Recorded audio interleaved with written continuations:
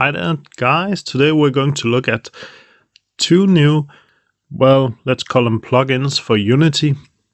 One of them is called uh, Prototype. You can see that's the bar right here for Prototype, and the other one is called ProGrid. And uh, both of these plugins or expansions of the Unity editor really seems like something I can use for my uh, level designs, as you can see. I haven't used any of them yet, but mostly I use uh, Blender right now, and you can see models like this one is something I do in Blender, and I skin it there as well, and then I bring it in here. Uh, the idea with prototyping is you can do the actual modeling right here, and well, guess it, skin it, I guess. Sorry, However, there is something called Pro Builder. That's uh, the upgraded version of uh, Prototype. Uh, unfortunately, I can't show you that right now because that's somewhat more expensive. I think that's ninety dollars US dollars. Yeah, while the prototyping is only fifteen or twenty, depending on if it's a sale. However, I got the prototype and we're going to play around with it and actually use it for something. So I'm going to set up a new level. And uh, as usual, let me switch to my other screen so you can see that just for a second. There you go. Uh, as usual, I'm going to set up the initial level using Tidy Tile Mapper, as you can see right there on the left, with the blocks and everything. And I'm going to do that again, but this time I'm going to, once the level is set up, well, the basic start and finish, I'm going to build out the level using uh, Pro Builder, uh, sorry, Prototype. So I'll just make a shortcut in the video. So if you're really interested in watching how Tidy Tile Mapper works, I have in one of my previous videos a short guide on how to start out your levels with that Okay. So now I've set up basic of the map. I have the layout, which I made with the Tidy Tile Mapper, and I've placed my player character. And one thing I noticed right away was because I have uh, ProGrid enabled, this is enabled, um, I was already able to snap everything. You can see it's snapping into grids and it's wonderful. I know you can hold control and it basically does the same, but now you don't have to. And one of the things uh, really should help with is not to have these small areas where you can watch through the scenes. So it's going to align up perfectly. Okay. So now this is the start area. And usually I would just bring in this prefab I have right here called, uh, well, stone floor maybe, or sandstone. And that, as you can see, it's basically it's a bunch of blocks. There we go. but I'm going to hit delete and we're going to try doing the same thing with the Pro Mapper. Oh, sorry, prototype. So the first thing you need is to create a block to work with. So right here. And you can see it's way down there. I don't know why it's going down there. So let's just hit P. A cube dimensions one by one by one. Yeah, sure. Create. So we click new cube, close this window, and we can see we got this cube. And it's also snapping into alignment. However, as you can see, the alignment is not the same. Check that out. Can you see that? That's a problem. Well, it's not really a problem. I can just turn off the grid. There we go. And you can see it's minus 0.4. So I'm sure it's minus 0.5. That's usually what I work with. And in this direction, we are at 0.5 as well. So I have no idea if this is going to work, but if it's going, if it's working anything uh, like I think, I should be able to enable the grid now and it should snap.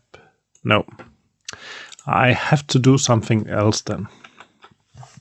Because what I wanted to do now is just to make sure it snapped right on here. Well, I'm sure you can just enter 0.5 here and it's going to snap per half. Sorry, when enabled, of course. Yeah, and you get the half block. Yeah, I think we're just going to go with that because that's fine. and I'm going to place it in one of the the corners of my starting area. And this is just going to be a introduction. So the shape is also going to be pretty simple, but it it's going to work, I'm sure. We have this block in the corner and we now want to expand it. And it's sort of like when you're extruding in a in modeling software. So uh, let's hit geometry right there. And you can see this changed its shape. So top basically means it works like an ordinary block, and geometry means it's edible, not eatable, edible. and you can select the sides. How cool is that? You could also select sides like this. Well, we're just going to do that and check this out. That's just cool.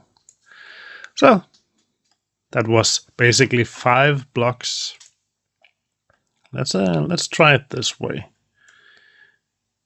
Sorry, we need to select the sign. There we go. Well, that was easy. So drag and clicking and it looks okay. Now here's the thing. If we uh, were to create something uh, crazy, well, Another thing you need to remember, right now there is no collider, so let's switch to the play screen. There we go. And if I hit play, I'm sure the ball will fall right through the ground. No?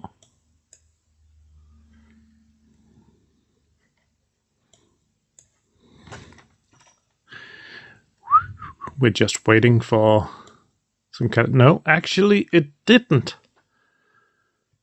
Okay, that's uh, surprising.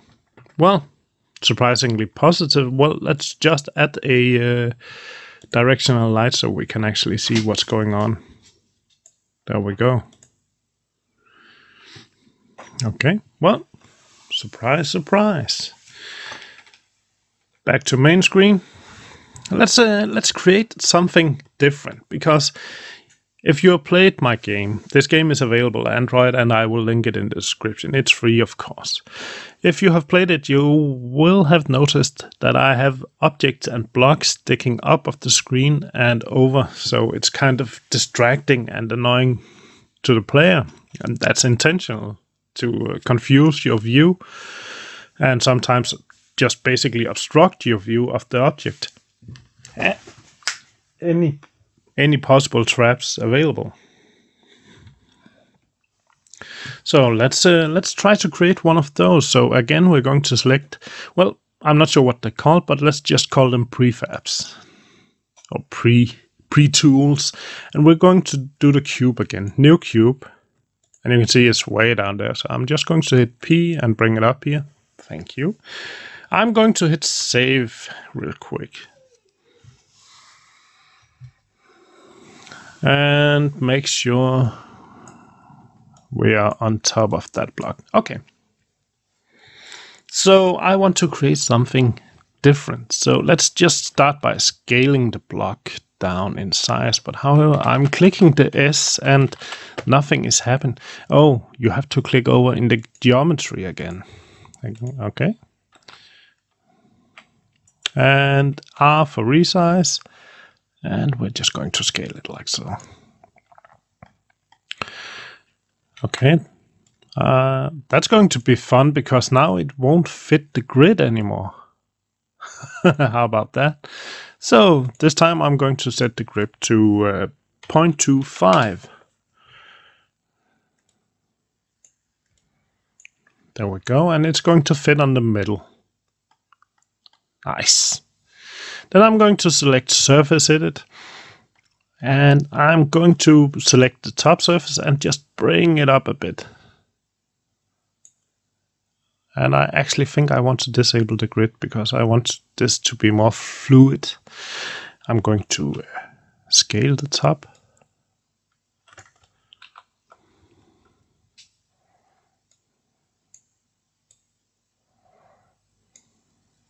So we get this sort of squared cone view. There we go. okay. And I want to extrude. There we go. It's just pulling out an entire block when you hit that thing. That's fine. It's cool. So, my intention is really to create sort of an archway, and I have no idea what I'm doing here. I've never used the software before, but it's, as you can see, it's quite intuitive, and it feels uh, natural to just yeah, something like that. Okay, for this point, I actually want the grid enabled because I'd like this one to hook onto the same edge as that block down there. It may seem it's not, but it actually is because these blocks on the field is actually 0.8 in scale. So naturally it would stick 0.2 over the edge. So that's fine. Going to select surface, disable the grid again. And that's one thing I'm really missing. Tooltips. Anyway, going to hit that once. Bring that down to so I roughly get a square in the center there. And then I'm going to going to undo that and again bring that out. Okay, I'm going to enable the grid again and 0.25 is fine. Select the end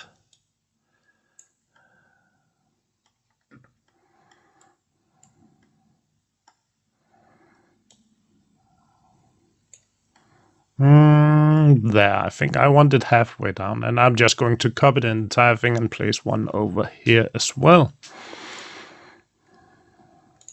So, top mode, select the entire thing, Control D, move it over, rotate.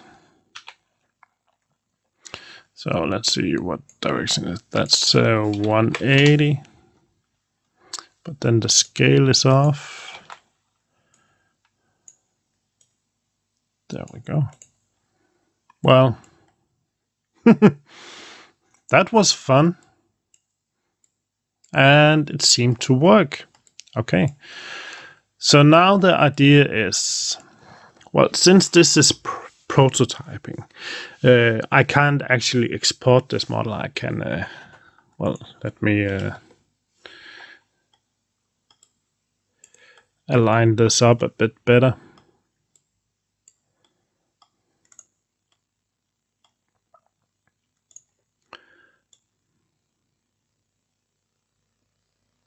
There we go.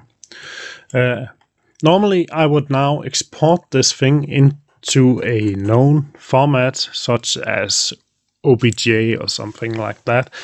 And uh, in Blender, I would uh, apply my UV texture and really design the thing how it's going to look. Or I would uh, actually just build upon it at some sort of graphics levels or whatever I would like it to look like and just improve the appearance in general. However, in prototyping, you can't. So that's the main reason why you would upgrade to uh, Pro Builder. That's the export function. So I'm not saying don't buy this because this is this is pretty cool. Uh, very cool indeed and uh, I'm surprised that uh, it's actually working with the surfaces just out of the box and you're able to use them as is. Let's see if I can find uh, a nice texture. Just browsing through everything. Materials, uh, sure, let's try that. Oh. Oh. Oh. Oh. Anyway, let's uh let's change that to uh, unlit textures. Oh, it changes everything. Okay. Did you see that? I have this guy selected and it also changed that guy up there even though they are not connected. That's uh, unexpected.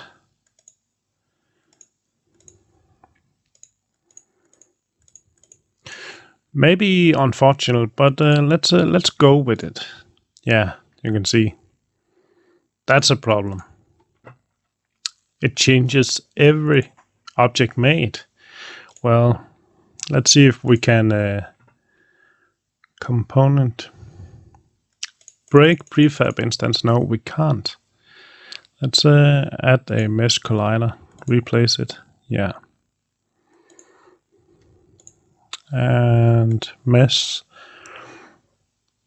It's not adding a default mesh, so we're forced to use that. And well, I'm going to need a pro tip on this. Uh, if I want some one material on this and another on this, because well, I do I don't want the same material on two items or texture, sorry. But I'm sure somebody will be able to answer this in either comments or a video. Uh, of course, I will be uh, writing to the developer over on Facebook, and actually, I already did yesterday, and he was really fast to reply, and they seemed like friendly, helpful guys, and that's a big plus in my book. So let's see how they respond to uh, the texture thing. Or if that's a pro feature only. That could be mean a problem. Anyway, thanks for watching guys. Comment, rate, subscribe. And if you'd like to uh, see more Unity creation videos, again, let me know. And if you don't want to, also let me know. It's nice to basically know where people stand on this. Thanks for watching. See you.